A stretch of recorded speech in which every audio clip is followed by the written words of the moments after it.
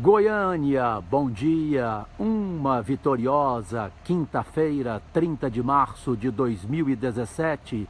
Aqui é Cajuru, seu empregado público, no dia a dia prazeroso que eu escolhi, porque eu quis, que é trabalhar de segunda a sexta, das 5 da manhã até as 8 da noite, ao seu dispor.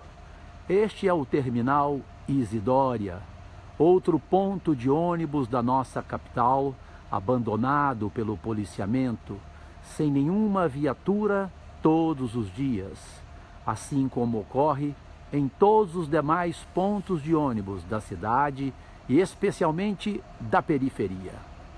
Senhoras e senhores, daqui a pouco vou ter uma reunião, para mim até então surpreendente, porque não esperava que o governador Marconi Perillo iria permitir. Mas o governador não está fazendo isto por Jorge Cajuru, e sim pela sociedade goianiense. Tomara que faça. Vamos ver se esta será a providência tomada pelo comandante do policiamento da região metropolitana de Goiânia, Ricardo Rocha, que eu conheço, e que vai me receber agora.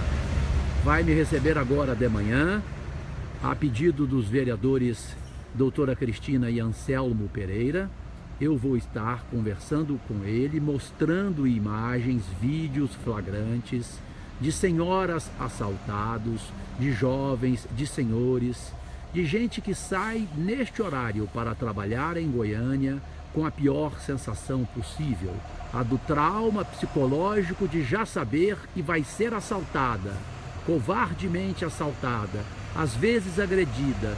Todo dia isto acontece nos pontos de ônibus de Goiânia a insegurança é total, além dos demais serviços do transporte coletivo que são os piores do Brasil.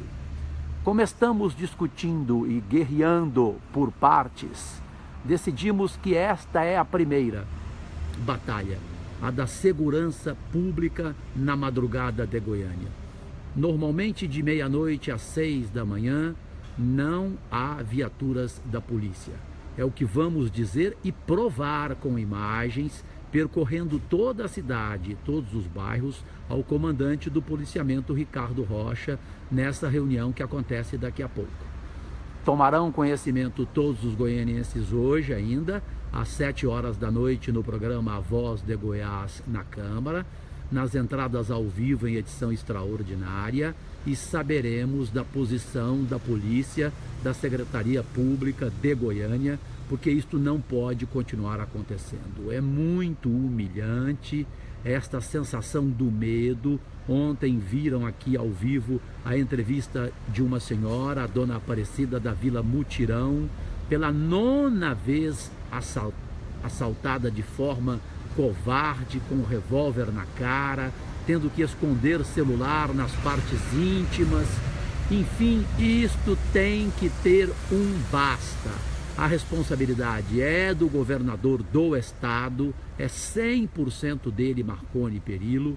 Portanto, vamos hoje ter uma posição de uma vez por todas cabal. E depois iremos para o gabinete 44, como acontece todo dia. Quero dizer rapidamente aqui que este meu trabalho, ele não é em função de hoje ser empregado público. A vida inteira eu trabalhei de manhãzinha até a noite.